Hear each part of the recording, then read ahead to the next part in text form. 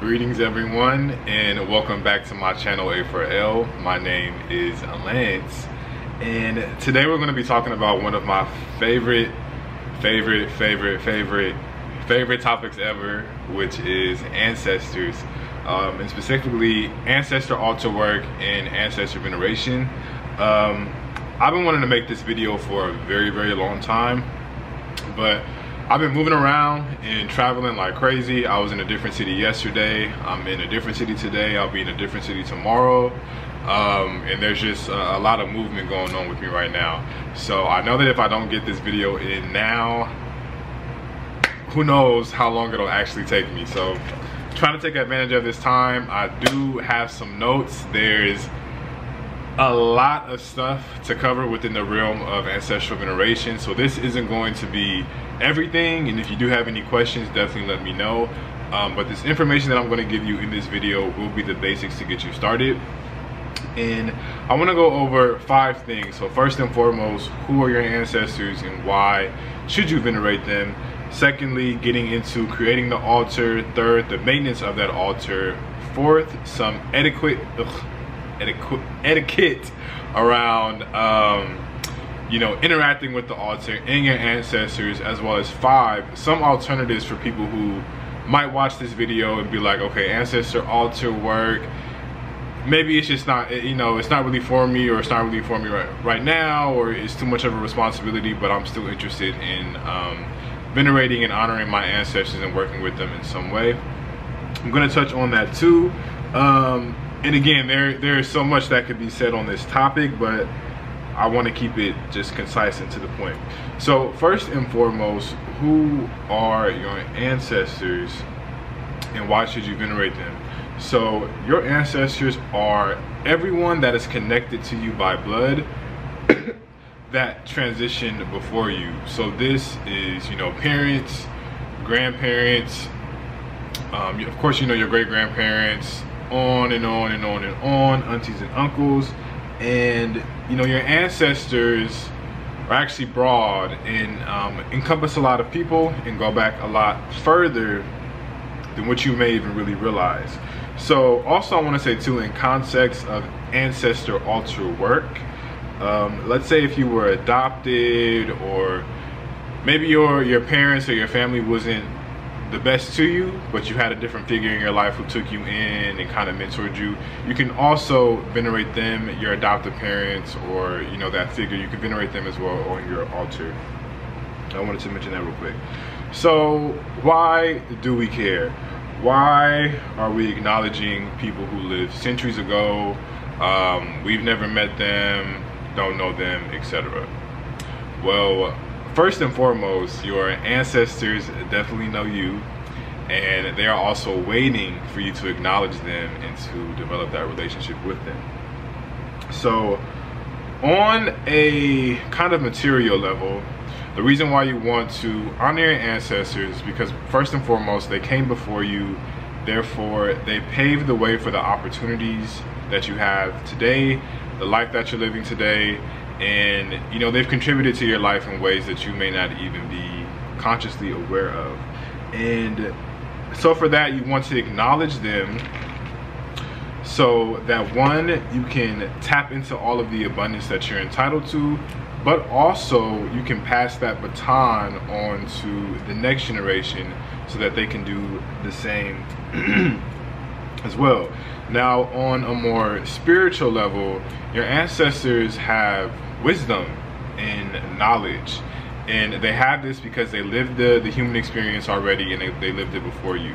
So by developing that relationship with your ancestors, you can turn their wisdom into guidance for you and for your life and for your goals and for you know for everything that you're trying to manifest, the life that you're trying to manifest.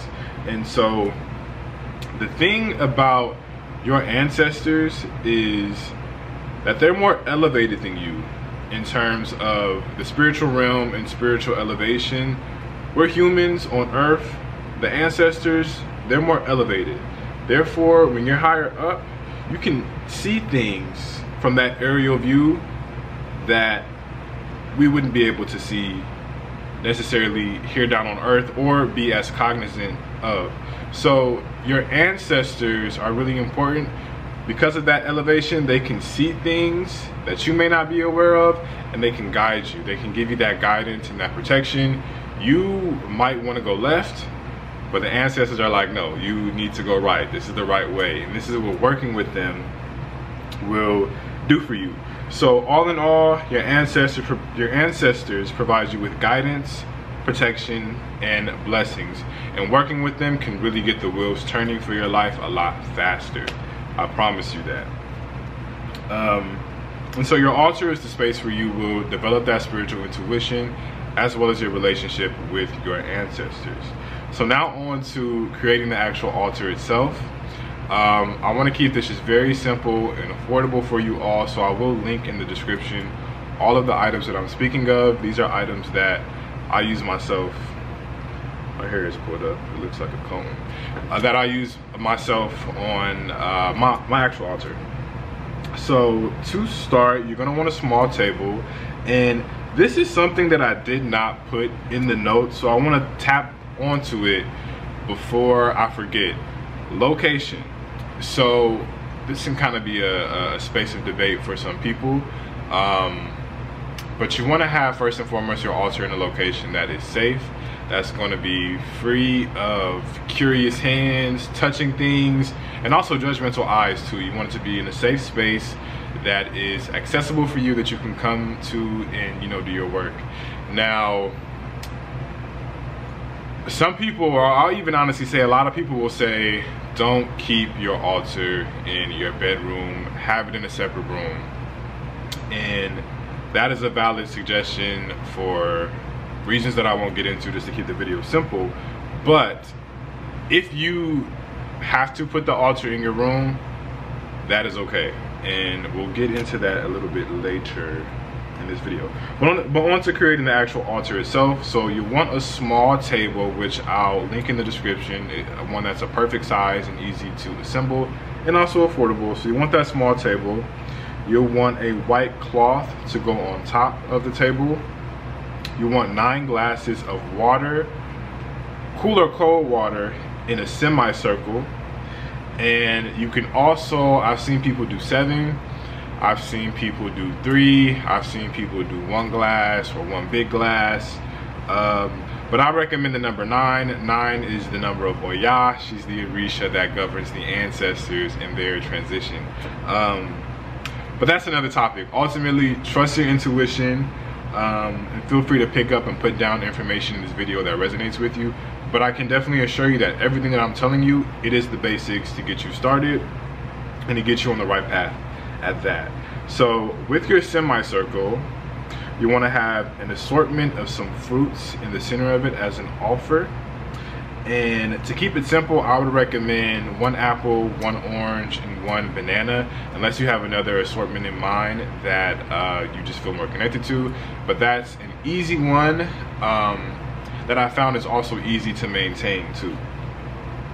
You'll also want to have a white candle as well as pictures of your ancestors if you can and flowers from time to time or always um, if you're able to maintain that is also a great touch.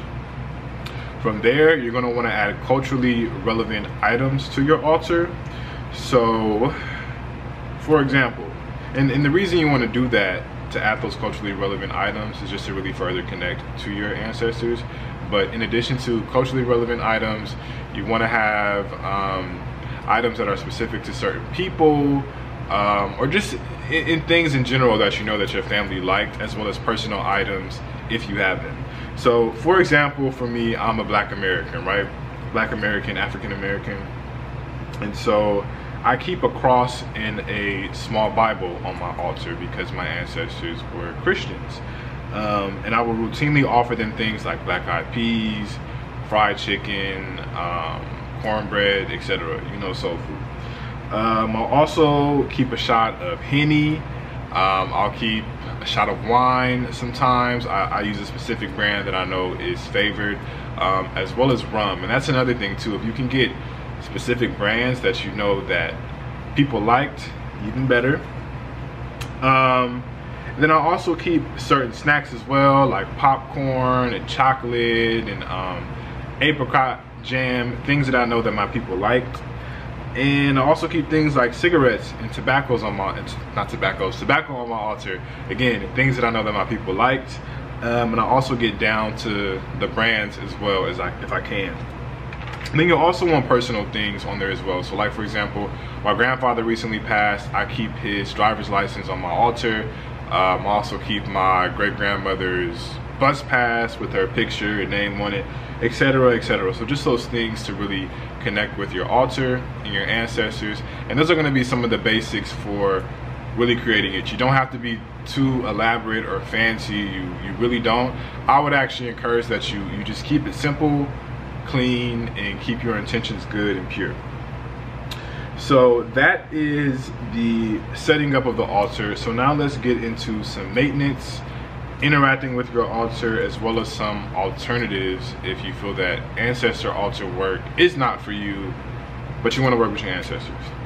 So in terms of maintenance, keeping it very simple, you're gonna wanna clean your altar and restock your offerings at least once a week easy, right? Um, so pretty straightforward. Uh, clean the glasses and refill them with cool water. Even better if you can get moon water. I can do a separate video on what that is and how you capture it. Um, you know, restock the fruits. Um, if you're leaving hot food offerings, I usually leave those on like for two days max. You don't want stuff to get um, stale or crusty. Um, and yeah, just be restocking things on at least a weekly basis, keeping it nice, crispy, clean. Wash the cloth too, and you'll be good to go. So now interacting with your altar and your ancestors. So this is what I personally recommend, um, and this is what I do with my sessions. So you want to again keep that cultural relevance in mind in terms of your ancestry and also some of those specific things that your your people liked.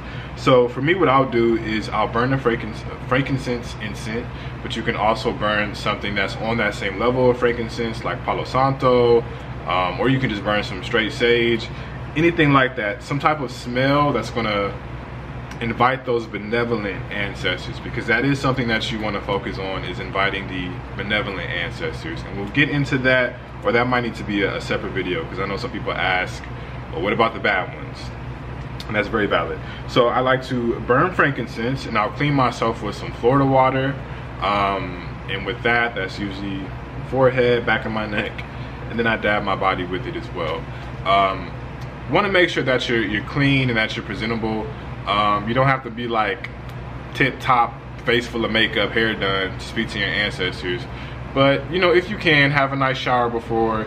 You definitely don't want to greet them when you've just had sex or you've just masturbated, anything that's like, what's the word? Any of that type of energy. You know what I'm trying to say. You want to come to them nice, clean, fresh.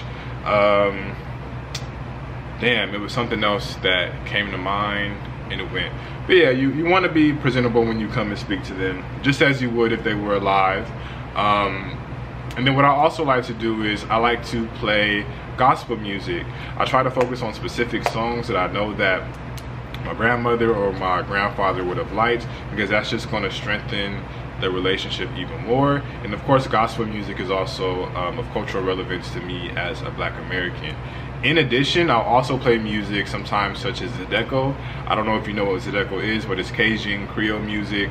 Um, my, my people are from Louisiana, so that's a part of acknowledging that. I'll sometimes play indigenous flute music. I am of indigenous heritage as well. Um, and I do have some like European folk music, but I actually have never played it before. Um, but that is another note. In terms of doing ancestor altar work you do want to acknowledge and incorporate all of your ancestry as best as you can. You don't want to ignore or leave anyone out. So i'll do all of that to set the mood. I sit at my altar. I like to give a little knock. Rewind, I like the candle first, the white candle. I like to give a little knock to kind of open that spiritual door and say, hey, I'm here, I'm ready. Um, and I always like to first and foremost, and this is what I recommend, start off with a prayer to your ancestors, pray for them, pray for their elevation, and just express your gratitude for them. Um, And then welcome forth the benevolent ancestors. Definitely want to specify that when you open it up, you're welcoming your benevolent ancestors, those that those that are both known and unknown. Sometimes my mind is working so quick and I'm trying to say things, I stutter. But welcome forth your benevolent ancestors. That's very important. And um, really just sit down and have a conversation with them. I like to read Bible scriptures to mine. Um, let them know what you're going through. Let them know what you need, any questions that you have. And your ancestors will communicate with you either through the water that's on the altar itself. There are signs that you can receive that way. Um, even in the ways that the candles burn, through your dreams or any other types of signs that you may get in, in life as you converse with them. Or if you're like me, a big thing, and I don't really tell people, tell a lot of people this, you might be very clairsentient. And so that means that you just come into a certain knowing of things without any real, how do I say this? Without any real material reason for why you know this. It just comes to you and it's like, oh, okay, that's the ancestors. You'll, you'll kind of have those moments of revelation as well. And so that's really what you want to do. Just sit, hang out with them, spend time with them, talk to them, and develop that relationship. And of course, always keep it respectful. Um, a big thing too that I want to mention is boundaries because one thing that happened with me and um, I have my altar in my room because I don't have the the privilege of being able to put it in a separate room. And um, quick side note on that too if you again if you are african american like myself you understand the history. So our ancestors had to be resilient. They had to be flexible. So again if you have to put it in your room you have to put it in your room. You know do what you have to do. Your ancestors will be happy um, that you're venerating them but um, i had mine in my room and when i first started doing the work i would wake up every single day and this is for several days at 4:30 in the morning and it got very irritating and very frustrating because I couldn't sleep. It didn't matter how late or how early I went to bed. I kept waking up at 4.30. And I remember one night I just popped up. I was irritated. I sat down at the altar, um, frustrated but still respectful. And I said, hey, stop. Stop waking me up at 4.30 in the morning. Um, because I can't sleep. And if I don't get proper sleep, I can't do the work that's needed to help elevate you guys and then in terms elevate the lineage. So don't be afraid to set those boundaries and speak to your ancestors um, about how you want to be communicated and about what um, makes you feel affirmed and what doesn't. Because that was awful. I, hate, I hated being woken up. Um, and so yeah, so that's going to be your general etiquette in terms of interacting with them. If your altar is in your room as well, of course you definitely don't want to be having sex in front of it, no masturbating in front of it, no changing in front of it, being butt naked in front of it. I feel like this is all like intuitive stuff, but if it isn't, again, you just want to be as respectful as possible in front of your um, altar. And if you can as well, if you have it in your room, if there's a way that you can um, partition it off maybe with a curtain or a sheet or something definitely do that as well. Um, in terms of how long you should spend with your altar and when um, you definitely have want to have one day out of the week where you really do sit and um, spend time with them at length. I would say 15 minutes um, for me, what I like to do is I try to check in with mine on a daily basis as much as possible with like a nice little five minute conversation. And then one day a week on Monday, and I would recommend Monday or Sunday if you're going to just do a one day sit down with them. Um, on Mondays, I sit down with them, I bring them coffee for 15 minutes, and we converse. So that is what you want to do in terms of interacting with it. Um, I actually didn't have that many notes, so I, I hope when I watch this back, I got everything that I wanted to hit. So now on to alternatives. So I do want to emphasize that this is called ancestor altar work for a reason. It is work. It is something that you have to be consistent with. And if you're not going to be consistent with it, or if you're not going to be able to be consistent with it, I would recommend don't do this work and I have some alternatives for you. The reason being is it's a relationship, right? You're developing a relationship with your ancestors. You're setting certain expectations um, with them. And when you're not meeting them, that can be disappointing to them on the other side. And you can be bringing about more stagnation into your life because you're not being consistent with the work. And it's not that your ancestors are um, waiting to, they want to punish you or anything like that, but you know, it, it's called ancestor altar work for a reason. Um, you don't have to be perfect, but you definitely want to establish consistency and rapport with your ancestors. Um, and I've experienced that myself with not being consistent and just seeing that difference in my life because um, it does make a difference. So some alternatives. You can, instead of having a whole altar, first and foremost, the big thing that you can do is just take care of business and take care of yourself. Do what you need to do in life and do what you, you know, you know you need to do. So, um, you know, eating well, getting enough sleep, just handling your responsibilities, taking care of your children, just whatever it is, you you know you you know we be knowing what we need to do to have it together. Do those things, your ancestors will greatly appreciate it because when you elevate yourself, you are in turn elevating the lineage that came before you and that may potentially come after you. So just taking care of yourself is a big way to venerate and give honor to your ancestors. You can also cook certain um, meals that you know that they enjoyed or cultural meals. You can play and sing certain songs in honor of them. You can wake up in the morning and just pray to them. That's something that i do as well. Wake up and just say hey i, I give thanks to my ancestors today um, and just different things like that to honor and venerate them. Um, so yeah this video is getting over 20 minutes. I really wanted to keep it short and succinct. There are so so many different things that i could also talk about in addition to this. This was just really the basics. Um, i hope that it helped. Um, if it didn't damn. But definitely leave any comments uh, questions that you may have. Like comment and subscribe. I appreciate you and i look forward to seeing you at the next video. Bye